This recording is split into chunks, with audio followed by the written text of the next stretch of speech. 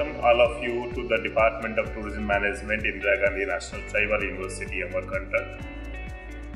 You will be happy to know that uh, this department, in association with uh, Decor India, are organizing a first National Tourism Students Conclave on 31st January to 1st February 2020.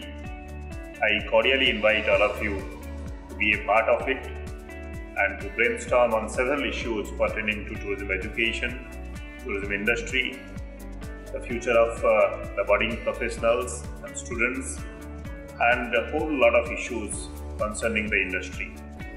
I request all of you to take this as a personal invitation and be on the day on this great and grand occasion. Thank you.